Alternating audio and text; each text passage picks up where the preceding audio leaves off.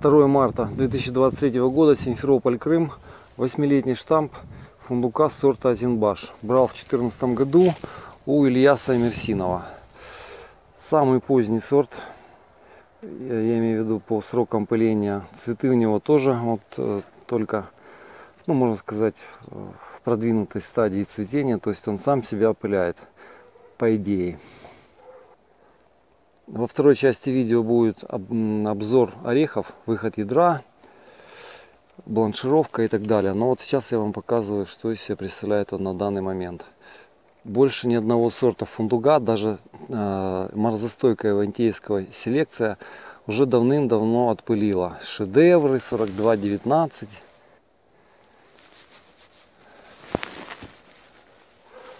Но он пылит просто сегодня холодно. Вообще пыльца летает. 4 марта 23 года, Симферополь, Крым. Анализ э, технических характеристиков сорта Азенбаш. Значит, э, очень сильно хотелось мне бланшировать этот сорт. В предыдущих годах я его пытался бланшировать так же, как я бланшировал трапезунд. Трапезунд бланшируется э, буквально за 3 минуты в микроволновке на среднем, среднем режиме. Такого у Азенбаша не происходит. Там 10-15% только отходит у него. Вот эта вот шкурка на ядре. Вот. Поэтому я его бланшировал так же, как и шедевр. Три раза по три минуты. Каждый раз после бланшировки, ну, после термовоздействия такого трехминутного, нужно дать ореху остыть и потом отшелушивать. Что могу сказать? Он бланшируется, Азенбаш. То есть он бланшируется на уровне шедевра, а то и лучше. Вот, за три раза, три подхода по три минуты. Вот на видео многих итальянских сортов и американских там показано, как бланшируются эти орехи. Вот. Та же самая картина и по Зенбашу. Он примерно так же бланшируется. Просто нужно знать как, вот я сказал свой опыт, свой эксперимент. Вот такое ядро круглое. Орех очень красивый, он как с картинки.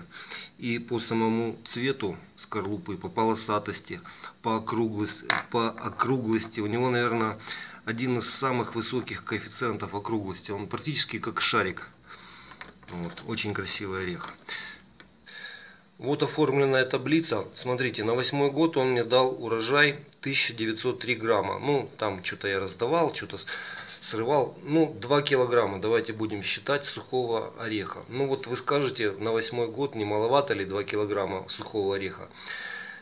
Может быть да, может быть нет. За ним надо наблюдать, к нему нужен подход.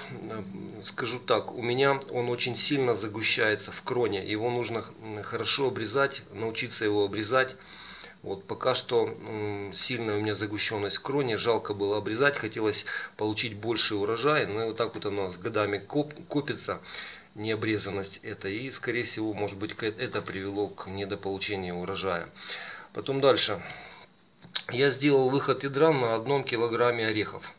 То есть полностью килограмм я очистил. Вот такой вот у меня получился выход ядра. Мне это показалось мало. И я еще сделал выход ядра. Там 100 или 200 штук. Получил точно такой же выход ядра. Почему? Потому что почему показалось мне это сомнительно. Я получал 52-53% выход ядра на этом сорте. Потом начал я разбираться с самими орехами. Вот э, нормальный орех, ядро ореха, оно вот такого светло-коричневого цвета. А в этом году у меня получилось вот почти половина вот таких вот орехов.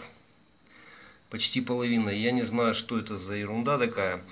Но вот в бланшировку, бланшировку вот в эту, которую я вам только что показывал, я использовал только вот такие светло-коричневые ядра.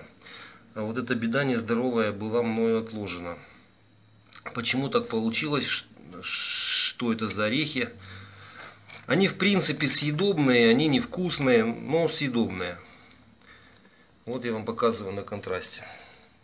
Ну вот отсюда и такой небольшой выход ядра. Ну небольшой именно для этого сорта. Так в принципе даже этот выход ядра неплох. Из достоинств еще что? У меня это самый поздно пылящий сорт. Но э, из проблем у нас на юге э, опыление, цветение ранних сортов проходит очень рано. Там, в январские, февральские окна. И когда начинает просыпаться азинбаш, вот эти все сорта, они уже почти южные, процентов на 80, они уже опылились. вот как в этом году.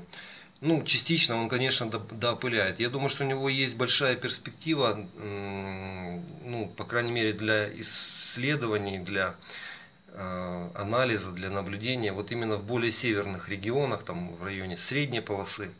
Вот. На этом заканчиваю обзор.